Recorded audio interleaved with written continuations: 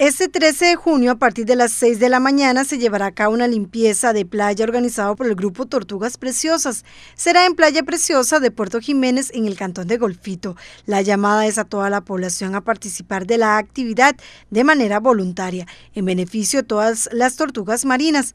Piden a quienes vayan a participar que lleven mascarilla y tendrán además un refrigerio. Para mayor información pueden comunicarse al número telefónico 8413 5194.